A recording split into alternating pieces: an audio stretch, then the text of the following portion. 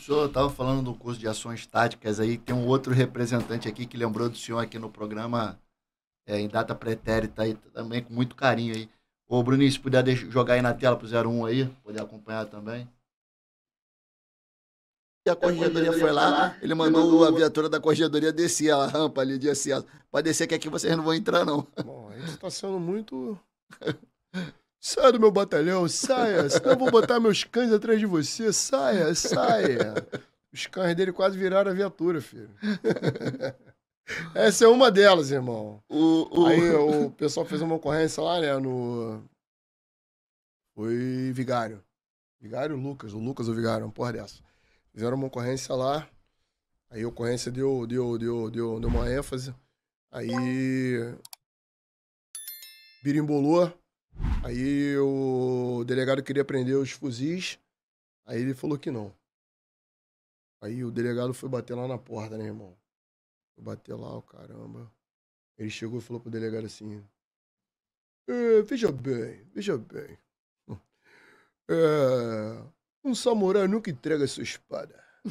Saia do meu batalhão, saia. Senão vou botar meus cães pra te colocar pra fora daqui. Doutor, saia, saia, meu irmão. Voltou pra correr, filho. Aí, ele, é, meu irmão, excepcional, cara. Sei que ele pegou um tenente lá, né? A equipe não tinha feito porra nenhuma no dia. Aí ele chegou na reunião lá. Ô, fulano, é, qual foi a ocorrência de ontem? O coronel que a gente foi aqui foi não fez. O quê? O quê, negão? O quê? O quê, negão? Pô, irmão. Vocês não fizeram ocorrência? O Rio de Janeiro? Você tá de brincadeira, né? Pegue sua faranda, levante me apresente uma ocorrência, senão vocês não vão embora. Suma daqui, suma, meu irmão. Não vem com ocorrência não, rodoviário. Se, se, se tu ir embora pra casa. Pô, é fora, velho. É, é foda, meu amigo conta a história dele pra caralho, porra, eu morro de rir, mano. Pô, tem uma do pequeno, cara. Posso contar do pequeno? Lógico, pô. Pequeno, pequeno vai ouvir essa parada aí. o nome de guerra dele é Pequeno mesmo. Acho que ele tá lá no 15, cara. Pequeno, gente boa pra caralho. O pequeno Catiano, né, meu irmão? E ele tá lá em forma, falando lá, né, cara? Quando ele passou, olhou pra barriga do pequeno assim, o quê? Que isso, militar? Que isso? Catiano?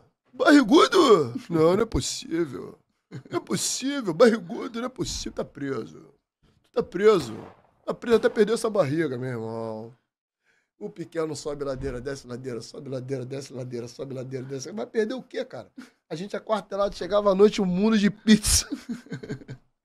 Ficou uma semana detido lá, cara. Perdia peso pra caralho na noite e recuperava tudo que perdeu durante o dia. Meu irmão, o coronel chegou uma semana de molho lá, cara. Ele correndo ladeira, sobe ladeira, sobe ladeira. O coronel viu ele correndo, né? Depois liberou ele, cara. Cara, ele fora, mano. Ele era fora. Mas ele matava no peito, cara. É, o nego fala que ele era. que ele bancava as paradas que ele falava. O Wellington tinha pedido pra tu contar a história aí de, de Minas Gerais. Puta que pariu. Caralho.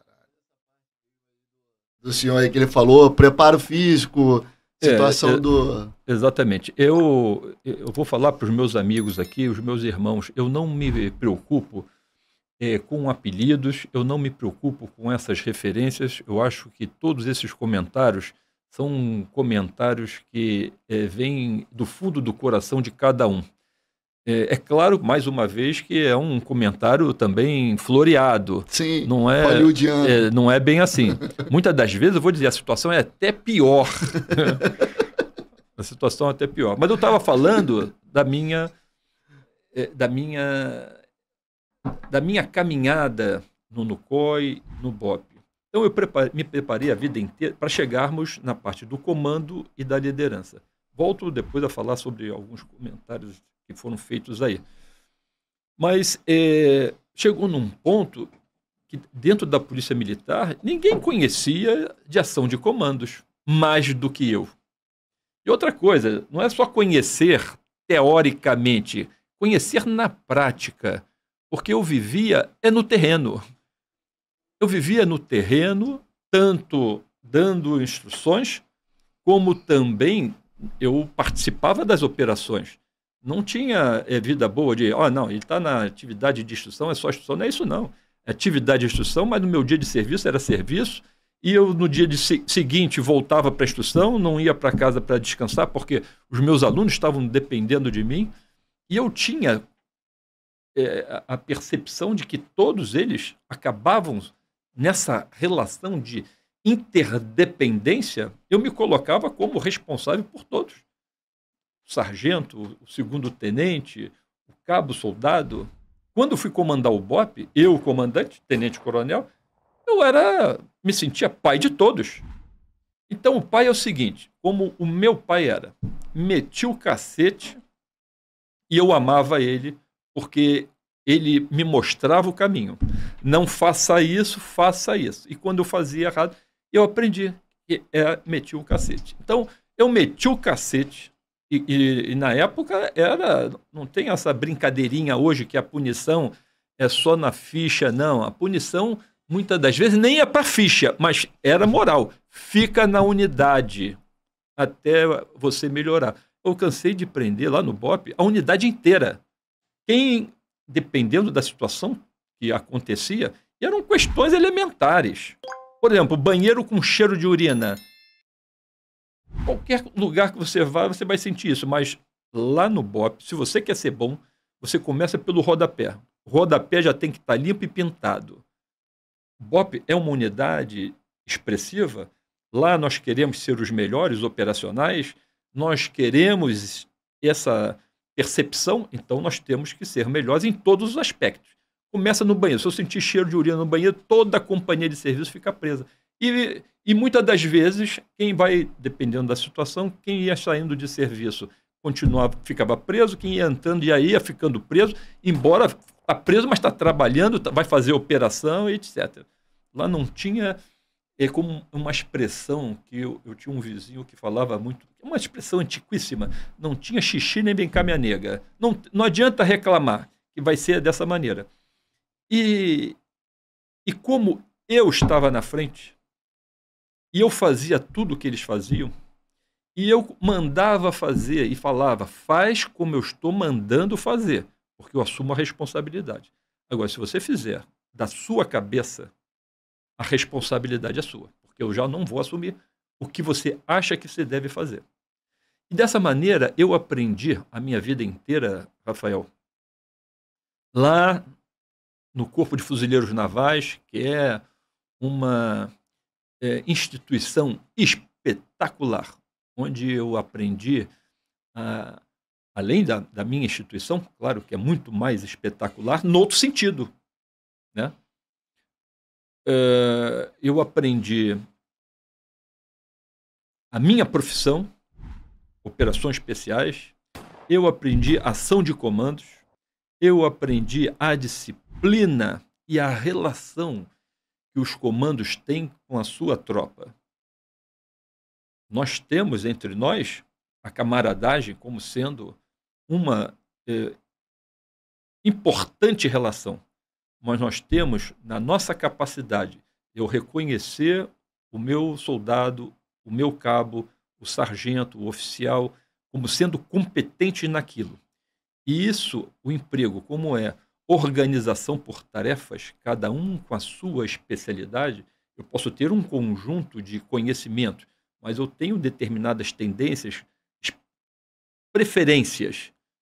Mas dentro dessa organização vão ter outros habilitados e mais habilitados do que eu, algumas outras atividades. Então, nós nos respeitamos, nos consideramos. E dentro do, daquela principal consideração que foi feita anteriormente. O que era o comandar, o que é o liderar. O comandar, como o próprio nome diz, é comandar com.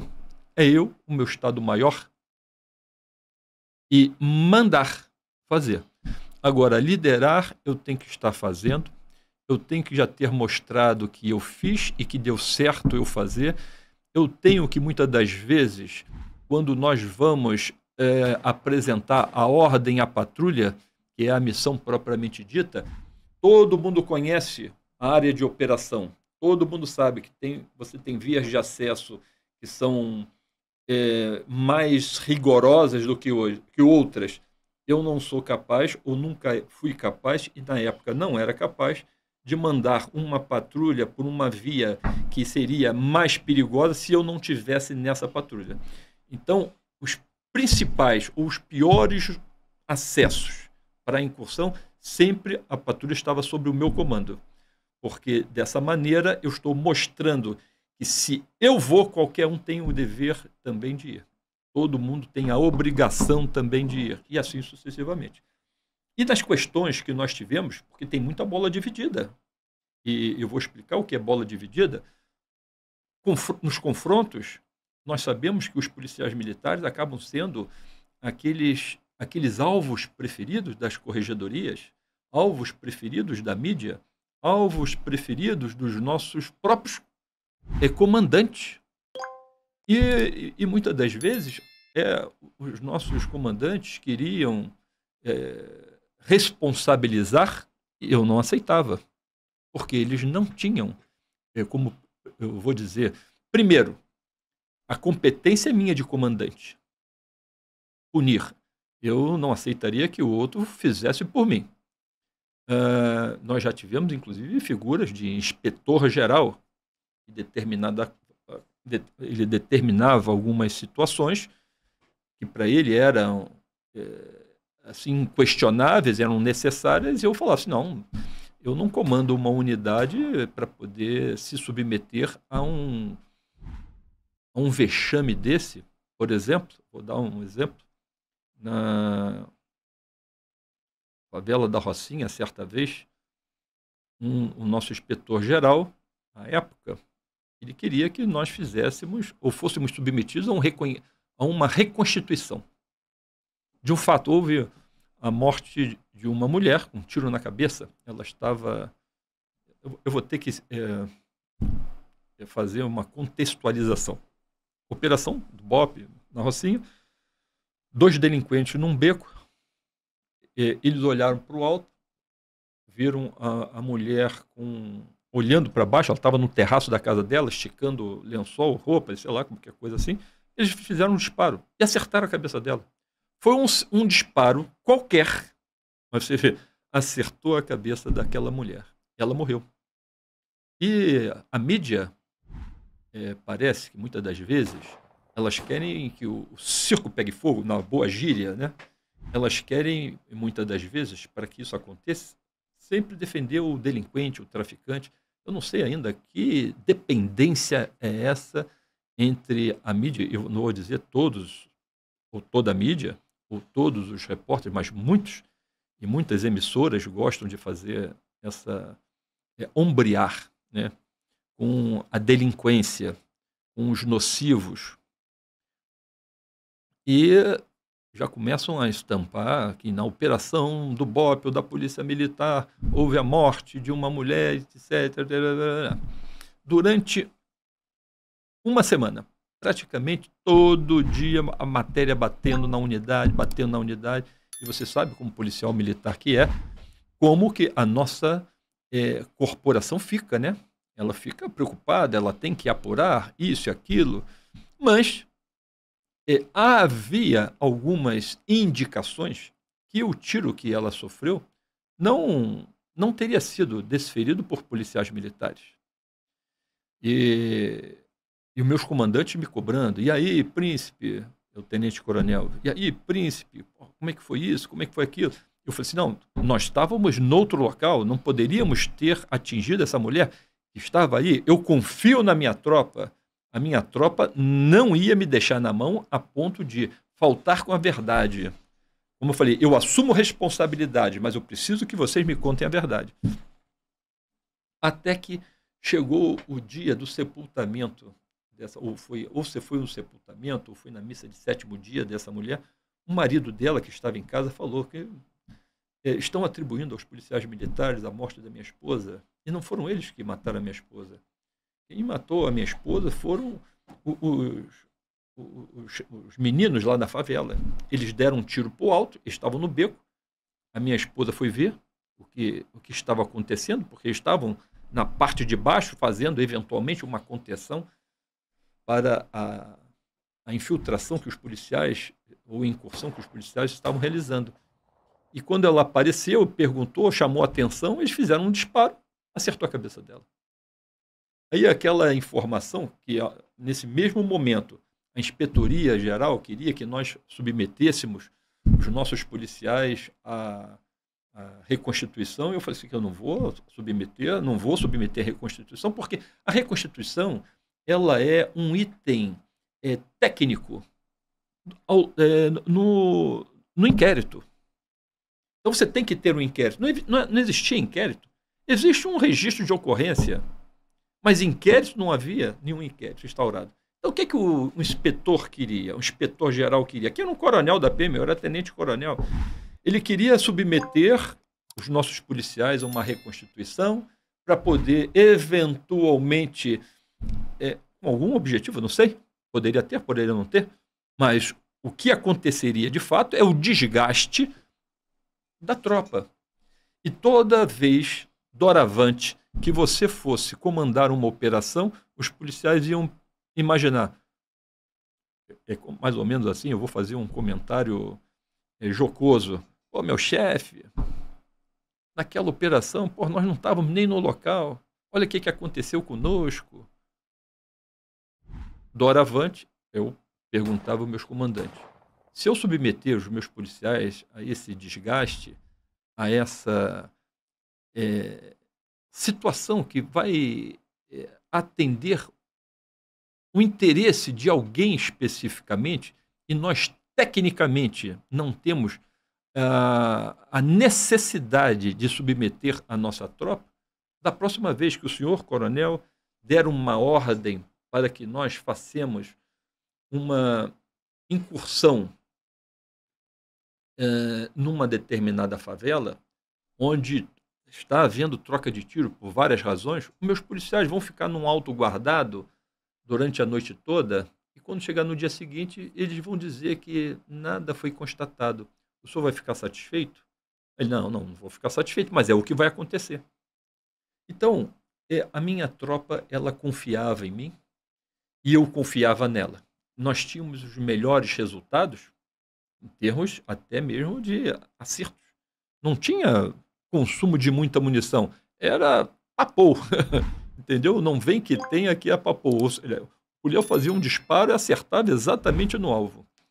Eles eram muito bem treinados, nós tínhamos munição eh, em quantidade para adestramento. Nós tínhamos um stand que nós construímos na própria unidade, um stand de tiro, foi construído no meu comando naquela época para o nosso adestramento, diminuir o tempo de deslocamento para um lado e para o outro, atrás, digo, atrás de stand, para você poder adestrar a unidade. E assim nós fomos conquistando não só ah, o conhecimento de que aquele oficial é o comandante, como também aquele oficial é o meu líder. Ou seja, o que ele determinar que eu faça, eu vou fazer. Porque eu nunca deixei um soldado meu na mão. Nunca, durante o meu comando, ninguém foi responsabilizado eh, por mim nesses aspectos ou por qualquer outro é, oficial, qualquer outra instância, polícia, judiciária, ninguém, ao longo do meu comando. Porque quando eu falava que era para ser feito daquela maneira, ali já estava considerado todos os aspectos técnicos e os aspectos jurídicos. Né? Então, pode ser que por essa razão eles me considerem líder. É... E como eu falei anteriormente, eu me via pai de todos eles era uma unidade jovem, lá nos idos de 2003, 2004, 2005, 2006, era uma unidade jovem, e, e todos suportavam né, essa mão mais pesada do pai. Mas era só para ajustar os passos, nunca para poder danificar a prole.